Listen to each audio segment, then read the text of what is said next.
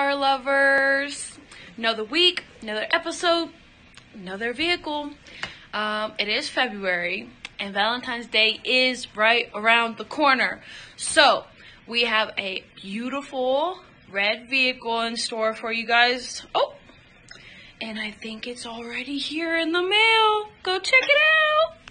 My second car up for adoption, with a cost, of course, is a 1971 Ford Pinto hatchback. Has the straight four cylinder 1300cc Kent motor in it with a four speed stick shift behind it. Car is complete. Engine compartment is really solid.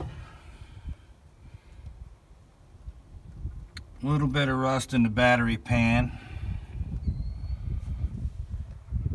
Right there in that corner. I mean, other, than that, this thing is really nice. I put a battery in it, put some gas in the carb. She turned over real good, but she wouldn't pop. And I checked and it was not getting any spark. So I'm not sure if it needs a coil or what. Be a good parts car, a good car to restore, or maybe even a little quarter mile car. Bumper's in great shape. Hood solid. Fenders are pretty good, got a little bit of rust in them. All the glass is good in the car.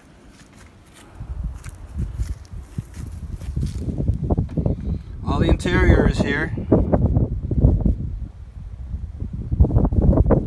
I do have the keys for the car. I do not have the key for the gas cap though. Do not have the key.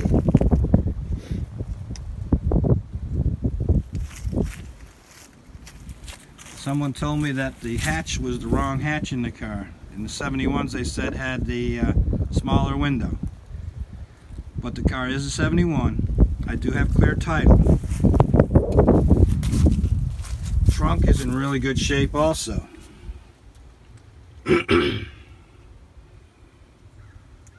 now I notice behind the passenger seat on the floor is a little soft. So I would imagine the floors might need some work.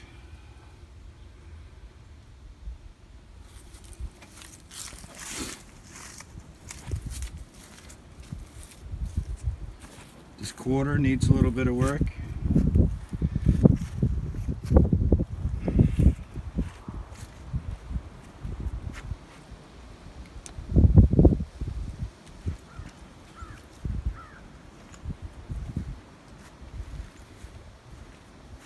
Again, 1971 Ford Pinto, looking for a good home. Let me know.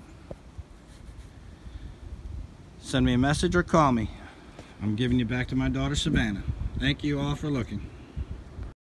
So, nice car, right?